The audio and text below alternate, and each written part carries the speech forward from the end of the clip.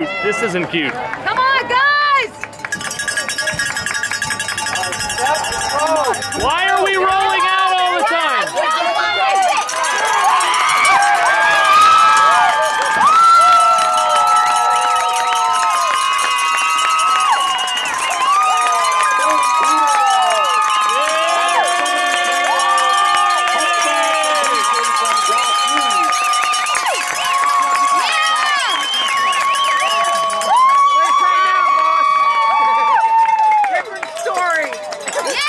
About Forget time. the kitty What do you have to say now, Dad? You have only done your duty. You are an unprofitable servant.